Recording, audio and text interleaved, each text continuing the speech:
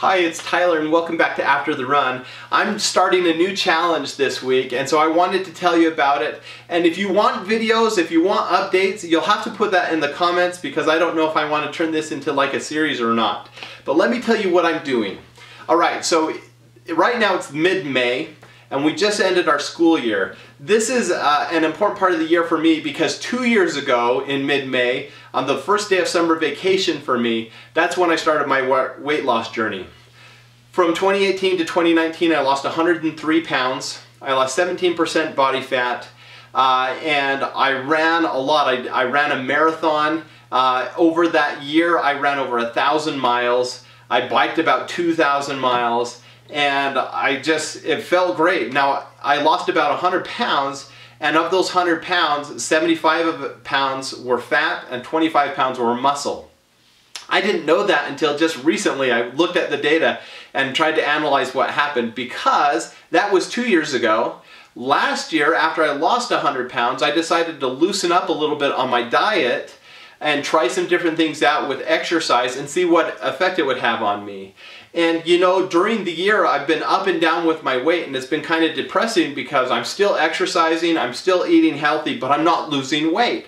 And I was so frustrated because I just seemed to be hovering between, you know, I, I got down to 203 and then right after that I kind of bounced up 10 pounds. So I never was really in the low 200s for very long just to make it to that 100 pound uh, weight loss level and then I kind of bounced back.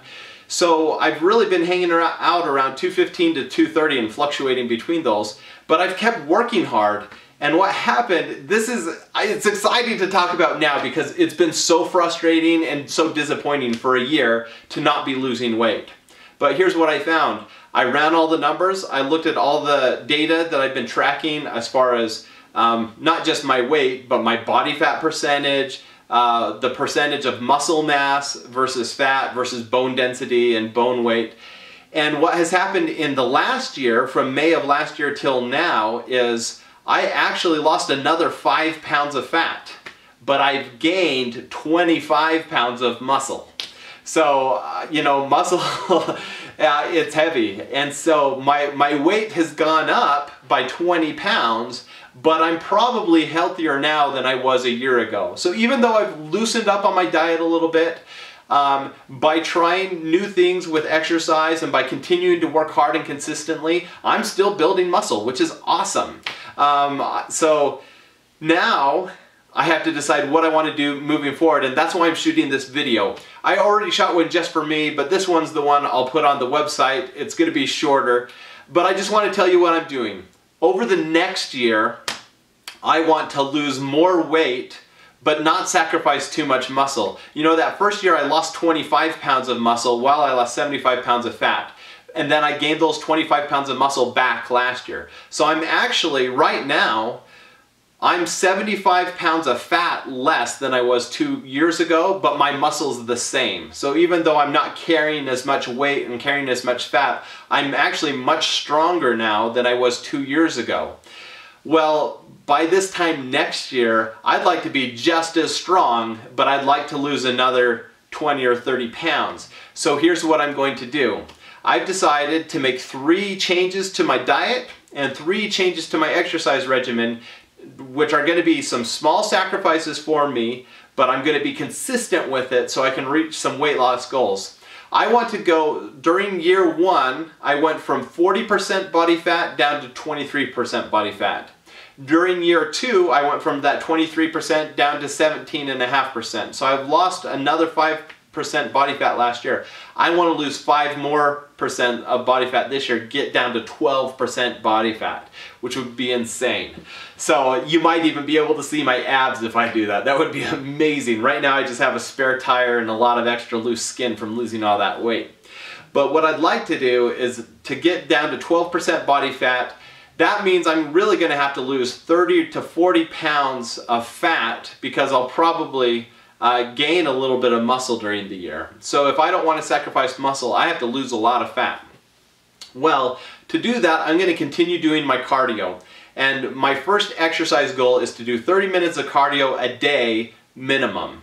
Now, that's not going to be hard for me, except for that I used to have one or two rest days during the week. Now I'm still going to take Sundays off, so six days a week I'm doing 30 minutes of cardio. And honestly, I'll probably do more than that most days just because I love to run. Um, but that's the minimum level is 30 minutes cardio. Now the second part of my exercise regimen is going to be more difficult and that's 30 minutes of strength training every day. I'm used to, during my first year, I would exercise, do strength training once or twice a week. Uh, and then this last year, as I gained that muscle back, I upped that to two or three, maybe four days of strength training per week. Plus, I started doing push-ups, sit-ups, uh, squats, and jumpy jacks every day. Um, or at least most days. And so that's where I saw the muscle gains was that consistency with doing about 50 push-ups, 50 sit-ups, 100 jumping jacks, and 50 squats. Now this year, I'm going to up that by going, so 30 minutes of cardio, 30 minutes of strength training every day, and then instead of doing 50 push-ups, 50 sit-ups every day, I'm gonna do 100 push-ups, 100 sit-ups every single day, except for Sundays.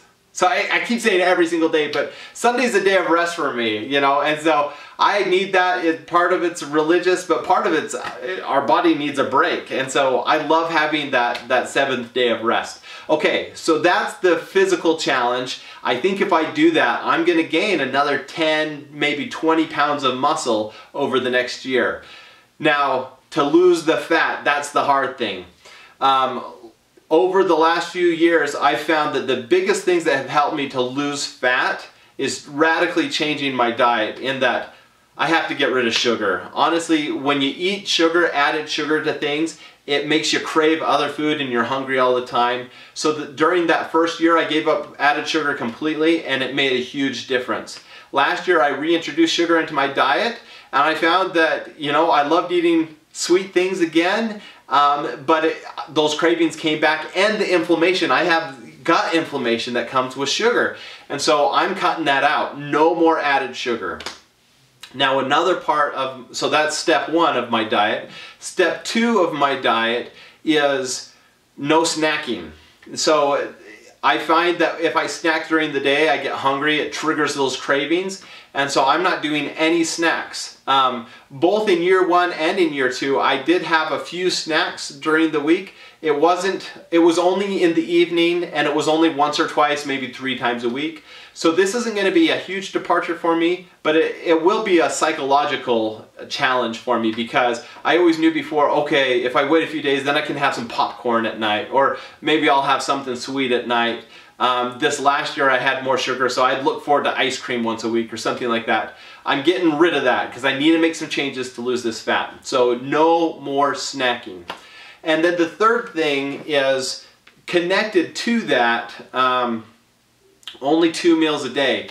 I, I'm right now and for the last two years I basically only have two meals a day anyway so it's not going to change much in that regard. I have two big solid meals, a big lunch and a big dinner um, and I do this the research on intermittent fasting and on having big meals versus lots of short meals it, the research is kind of all over the map. For strength training and building muscle, most people say have lots of short meals uh, or lots of small meals, two hours apart or whatever, and you're going to build muscle.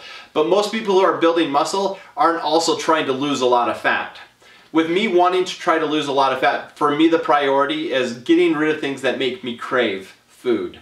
And after having been obese for two decades, I know what my body needs and and how it reacts to certain things. And I know that if I'm snacking during the day, um, I'm going to crave food during the day. So by simply having lunch and dinner, I don't have to make that decision anymore. I know I'm only going to have two meals a day. They're going to be big meals. They're going to be healthy meals.